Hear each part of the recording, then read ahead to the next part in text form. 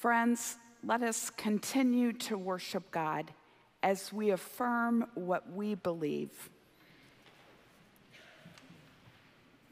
Christians, what do you believe?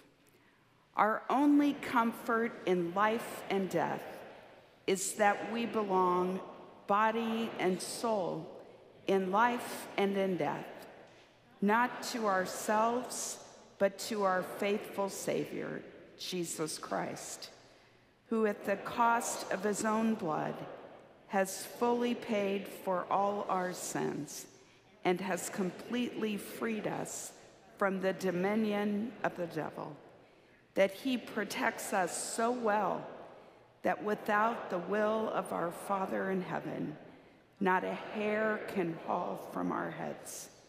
Indeed, that everything must fit his purpose for our salvation.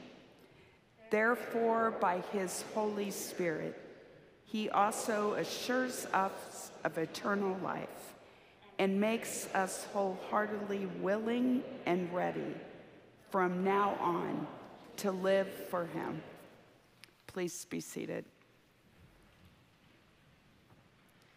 It is good to worship God with you in this place. If this is your first time joining us in worship, I invite you to fill out the form on the back of your bulletin and leave it in the back of the sanctuary, our narthex, on your way out. This makes it possible for us to welcome you more fully. As Chris mentioned this week, the elders and the leadership of the church were able to be together away, sharpening our vision, sharing meals, laughing together, and listening for God's leadership for this church. We are grateful for your generosity, which makes this possible. If you would like to give to Second Church, go to secondchurch.org/give. There will also be plates back in the narthex for your envelopes.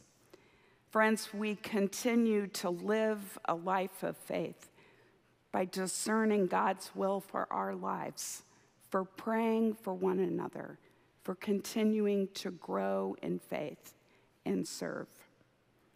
Listen to how God is calling you this week.